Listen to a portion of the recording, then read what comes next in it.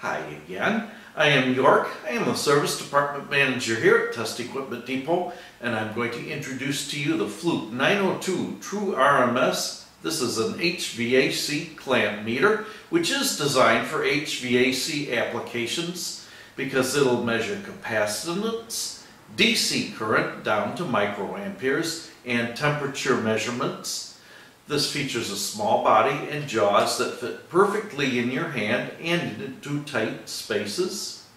This has a handy display hold button which keeps measurements on the display and the meter controls our position so current can be done with one hand.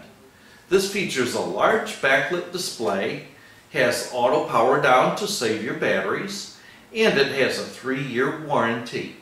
Thank you for watching. I am York with Test Equipment Depot.